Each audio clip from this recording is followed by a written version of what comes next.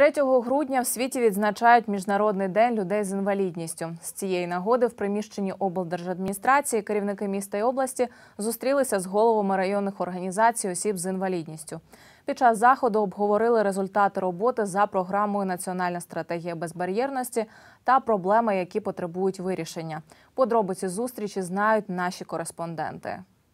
Кабінет міністрів України ухвалив програму Національної стратегії безбар'єрності у квітні 2021 року. Вона передбачає створення до 2030 року в Україні безперешкодного середовища для усіх груп населення, забезпечення кожній людині реалізації її прав та доступність до всіх послуг.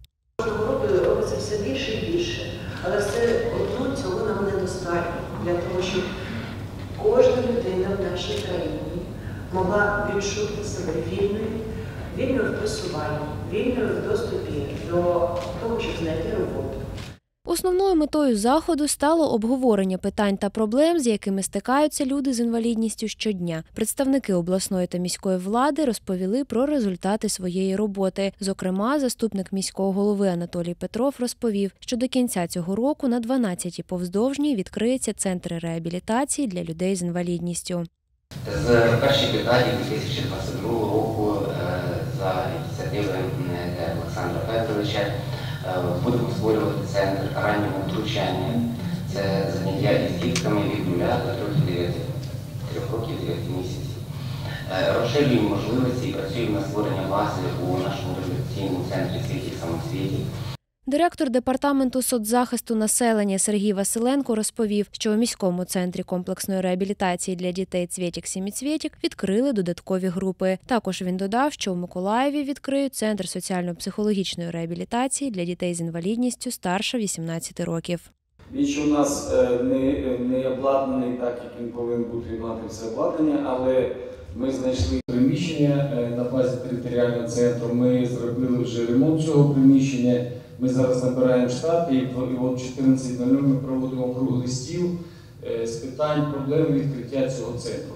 Спільно з представниками влади голови громадських організацій намагалися вирішити конкретні проблеми сьогодення для людей з інвалідністю. Директорка департаменту соціального захисту населення Оксана Єльчєва каже: безбар'єрність це не лише фізичні перепони, а цілий комплекс заходів, спрямований на те, аби надати усім можливість мати доступ до усього необхідного.